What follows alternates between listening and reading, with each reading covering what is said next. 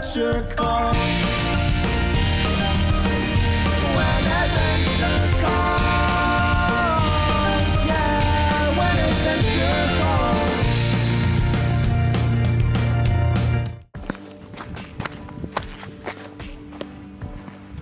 Look at this letter! We got another one today, Corbin. Wait, you're Charlie. Cor- there's Corbin hiding in the corner. You guys should have seen it. So, I went out there to go check the mail because me and Corbin were sitting here on the couch. We were just chilling. We watched the mailman drive up. We watched him put a letter in the mailbox and drive away. So let's see what it is. I don't want to have to wake mom this time. Okay, that's alright. Uh-huh. Oh, this is from Nigel P. Silver. From the desk of Nigel P. Silver. Dear Corbin, allow me to introduce myself properly. My name is Nigel P. Silver, editor of the renowned publication Shirk and Pirate Quarterly. I have lived here a long time and I know a thing or two about what goes on in these parts. And believe me, I speak from experience when I say that things around here can get complicated. One day last week, I was going about my business laying out type for the latest edition of Shark and Pirate when Flora Smart interrupted my work. This was odd as Flora Smart rarely leaves her cottage. Also, great grandfather Boggy, Bottom Beach.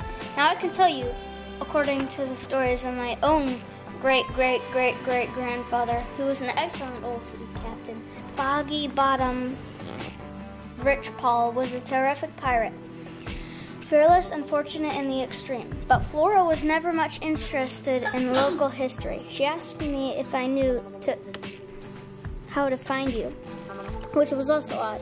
Flora does not like people and is not inclined to look for them. I had several questions of my own for Flora. In response, she showed me the note and the keys she found in her kitchen wall. I advised her to send them to you. I also advised her not to show them to anyone else or discuss details of what she found.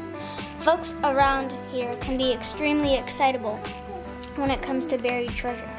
You may be interested to know that Flora Smart has a connection to a treasure of her own. In fact, she may have a buttload of booty buried on her property. Her Buttload of booty? Uh-huh. That's like Why would a you lot have of. a buttload of booties? a buttload. I think I think they mean treasure. A lot of I know, treasure. I know. It was a joke. Buttload. A buttload of booty.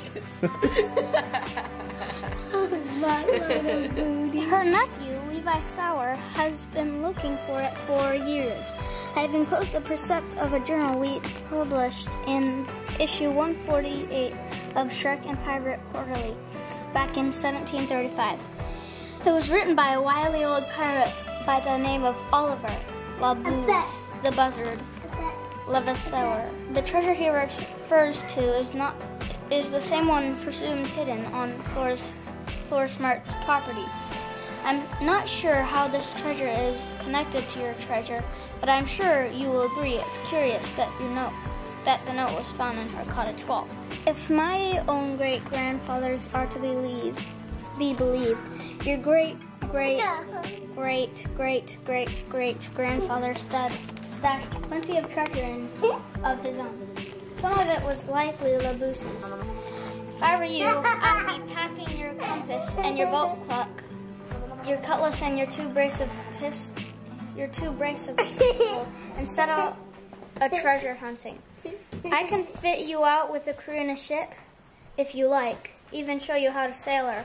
I know these islands like the back of me hands, and there's one thing everyone around here knows. Nothing gets past Nigel P. Silver. Yours truly, Nigel P. Silver. P.S. Perhaps you are wondering where Bottom, Boggy Bottom Beach got his name.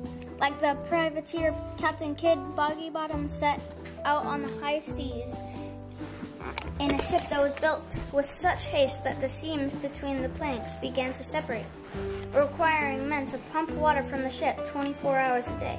On one occasion, the crew was laid low with fever and the pumps were shorthanded. The bread room filled with seawater and spoiled the biscuit. Thus, the ornery and hungry crew dubbed their dubbed their captain Boggy Bottom or Boggy Biscuit. Sooner or later, the ship did sink, and even though Boggy Bottom never again sailed a leaky vessel, the name stuck fast as a barnacle. This is a shift. I know it. Oh, yeah, there's another one. Oh, and this is the journal excerpt. Proves treasure real, but no light shed upon where you can find it.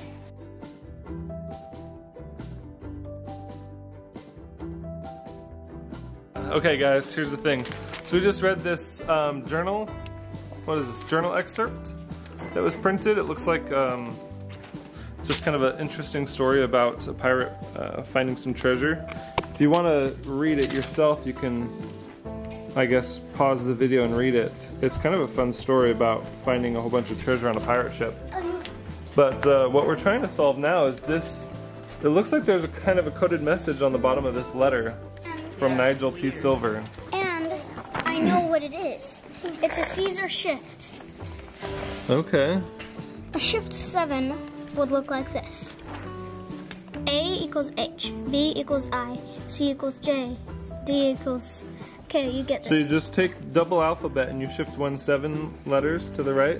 Say one, two, three, four, five, six, seven, or seven sh- letters to the left. Yeah.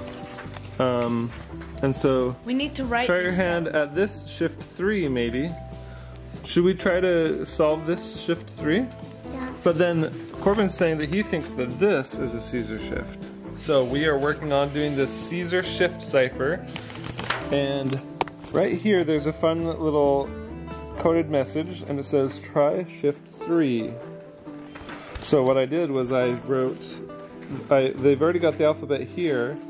And so what we did was shift we seven. shift, this is a shift seven because it's going one, two, three, four, five, six, seven. This is a shift three, one, two, three and then it picks up D, E, F all the way down to the end. So that's a shift three on the top. So we're solving right now. The top word, first word is 20, and so we're gonna go and finish the rest really quick here. So I, uh, we're gonna go up here and say I, so I is F. R, R is O. X, X is U. And U is R. 24. Alright, let's go ahead and solve the rest of this thing quick.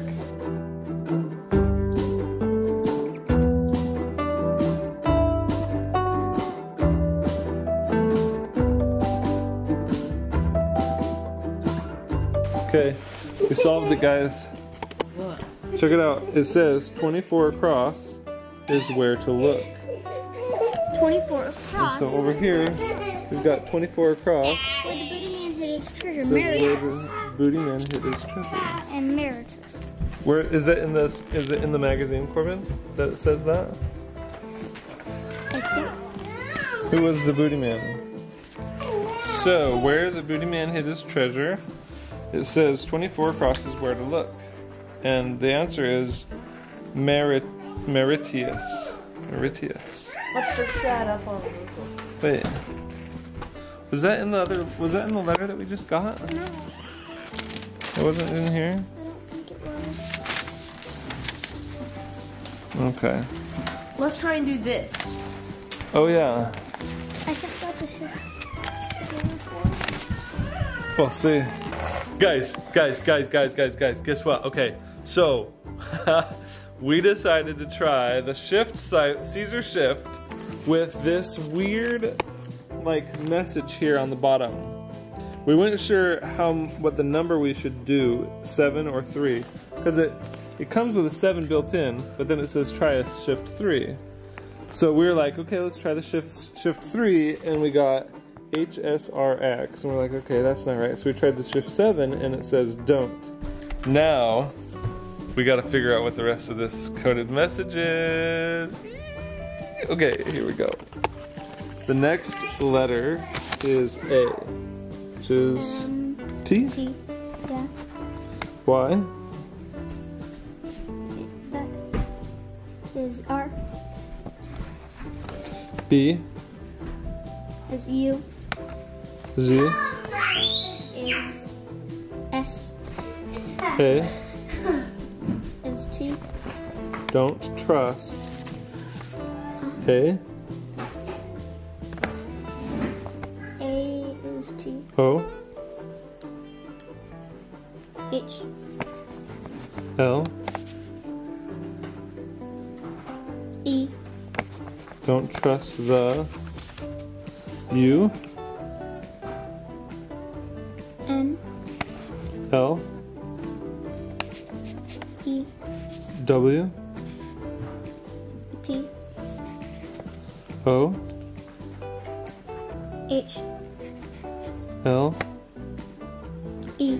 50 W. Don't trust the nephew. The nephew is, um, Flora Smart. I think. No, who's Flora's nephew? Who sent us? He sent us the letter last time, and he told us not to trust Nigel. Remember? Who should we trust? Go get the letter, right? Do you remember that? Yeah. that? Okay, guys, this is really confusing because in the last video, we got a letter from Flora's nephew who worked for the museum, and he said not to tell anything to Nigel and to not trust Nigel. Okay, go ahead. what did it say? If anyone asks you any questions like Nigel Nigel P. Silver, for instance, please don't tell him anything. Nigel P. Silver says don't trust the nephew. And the nephew, what was his name again? LeSueur? Levi Sewer says don't trust Nigel P. Silver and to not tell him anything. Corbin, what do we do? I think We told the nephew everything on that phone call. And Nigel P. Silver just said not to trust the nephew. But the nephew said not to tell Nigel P. Silver anything. He hasn't asked us for anything. I think I should the nephew kind of is a little bit suspicious because he says, "Please don't tell him anything," and he's like, "Don't trust the nephew." So who do you think is more suspicious? I think it's- Levi. Th- yeah. You think Levi's suspicious because he's asking nicely? Yes. What do you think? I think Levi is suspicious. I kind of Really? want to trust Nigel. You want to trust Nigel? I don't. Okay, so I'm totally getting the complete opposite vibe because Nigel is like a pirate and Levi is like a historian who owns a museum, right? Yeah. Where's the letter? No, this. Oh, But please what take if it they're out. Well, that's so confusing. I mean, who wouldn't want treasure?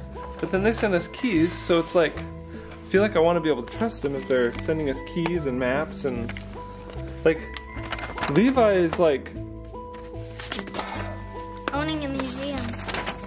he owns the Royal Museum Archives. Should we call him about it? We called him before, but he, he's always on a voicemail. Like, he's not available to talk to.